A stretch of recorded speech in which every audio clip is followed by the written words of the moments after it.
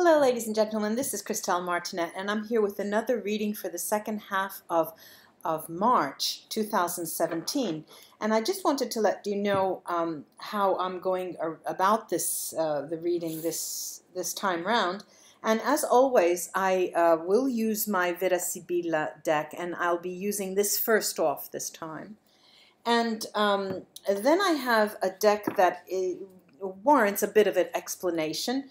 I'll show, show you these cards one at a time as I tell you them. They're called the Tarot of the um, Mystical Spiral, and it was created by an Italian called Giovanni Pelosini, and uh, the artwork is by um, a man called Giuseppe Palumbo, and um, the, the the notion, you know, the thread, the the theme of the spiral is really something that uh, that talks about nature. It, it goes through nature in all forms, from the macrocosm of the galaxies to the microcosm of our DNA, and the entire energy of the universe is um, is, is, acts in uh, helo, helicoidal motion in some way.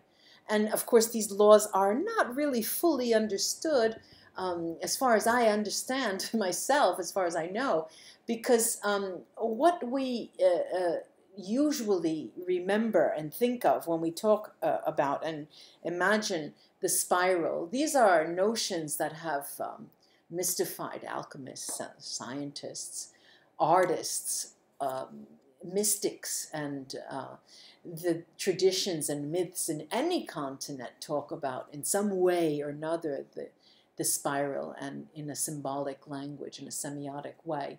Um, and even in the mystical traditions, the great mystical traditions and esoteric mystical uh, traditions of the West and the East, is inspired by the spiral. So come with me and um, and let's use this initiatory deck. This is an initiatory deck. It's a um, the symbolism shows us. It, it talks about. It tells us about a path of, of initiation, and it invites us to make a quantum leap in our consciousness and to go there among the sage, the wise men, and understand the secrets behind uh, Gothic cathedrals or, or uh, invites us to dance with the dervishes or, the, Maor- the Maoris and um, meditate with the yogi. Or even go travel with the Vikings and dragons, unicorns, and um, sphinxes and minotaurs, you know, um, with archangels, the Knights of the Templars, and uh, and try to find out the old, ancient, old uh, see, the, the secrets of humanity and of life itself. So come with me, and we'll use these this deck to clarify. And every time I pull the uh, cards, I'll uh, say a specific what the card specifically means in this deck and um, and try to see if we can get clarification using that. So off we go to those readings, ladies and gentlemen. Hello Sagittarius, it's me again, and this time I'm concentrating on your reading for the 16th to the 31st of March, the second half of March. Let's see what these Vera Sibilla have to say. What would life be without them? La Vera Sibilla Oracle card decks. I offer a course on how to read the Vera Sibilla on my website. You can go look under Cartomancy, or no, under La Vera Sibilla. See what's in store for Sagittarius for the second half of March.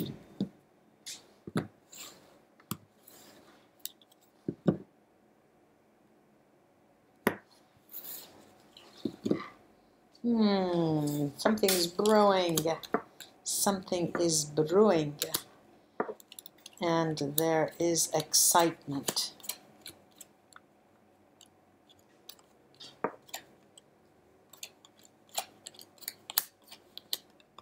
Bad times are out of the question here. They're gone. They're gone. They're nowhere to be seen.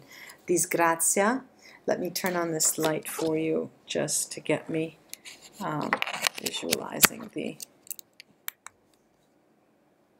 the disgrazia and the excuse me disaster and the morte those cancel uh, each other out. Happy times are here to stay. And if you've been feeling sick lately or just not up to standard, you know, this is the time where you're starting to flourish again. You're feeling the real impact of spring. And um, what's interesting is there is the excitement. Like I said, there is a little bit of excitement, and it's probably, and I'm going to look at that with this spiral um, deck here, the mystical spiral. Um, why I'm, I'm, I'm sort of going slow and uh, pondering things is because there seems to be a number of cards that uh, ask for caution. They caution you. You know, I have here um, the prison and also the fortune, the fortune in the prison. But, you know, these might just be uh, signals of, of saying, you know, don't move. You're in the right place. You finally found your your uh, your home, you know.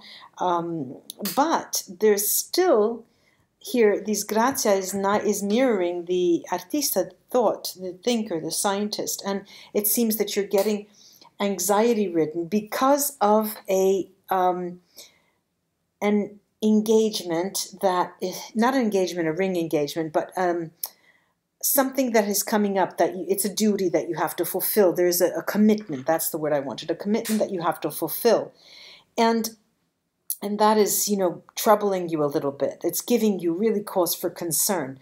It it will be over soon. I see that it will be over. The last card is our legit. the lightness of being, and this is following the Fortuna card. Now, um, I'm going to take the uh, these mystical spiral cards, couple on each of these darker areas of the spread to see if we can highlight them. Okay, look at this. I've got the Two of Pentacles and the stars. Now, the Two of Pentacles here, it's the, the flower of life and the spirals of the sunflower seed that express the principles of geometric, sacred geometry, really. And um, typically in a tarot deck, the Two of uh, Pentacles would mean changes, juggling things, but this is the sacred nature of life. I uh, believe that for many of you, and I remember the last reading, there was um, a child, a conceiving, there was someone who, a lot of, a lot were expecting either expecting a child, a human child, or expecting a project to take off. Now, these are the seeds that are going to give that project impetus. And the stars here, the stars respond, uh, correspond to the uh, Latin uh, words sic itur et ad astra, which is così, which means this is what you do to go to the stars.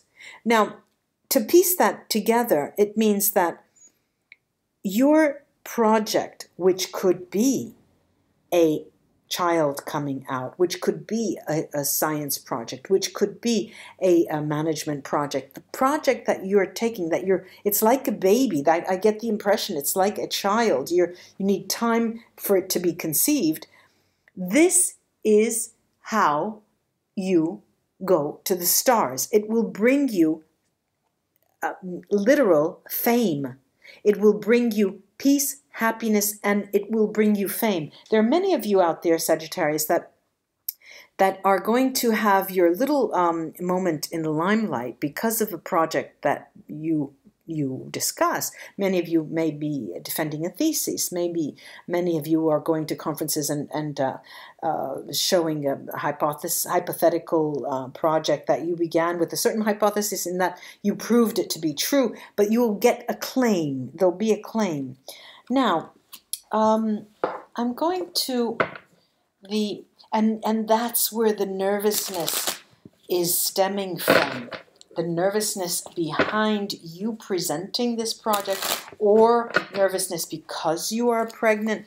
I'm going to this, uh, the end of the disgrace here, the uh, end of the difficulties in terms of your relationship.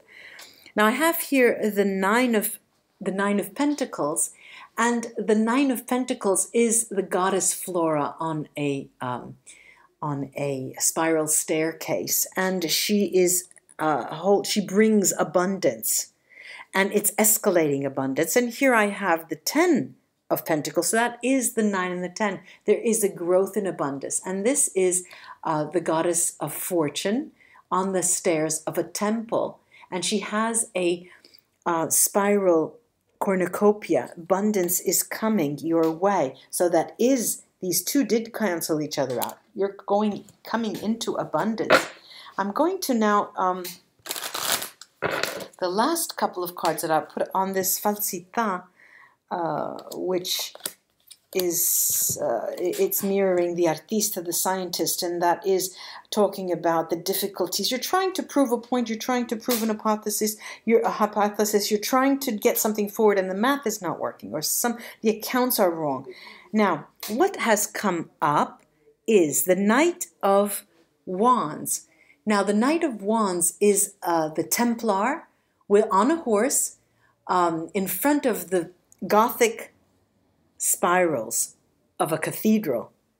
And it's a defense, a passionate defense.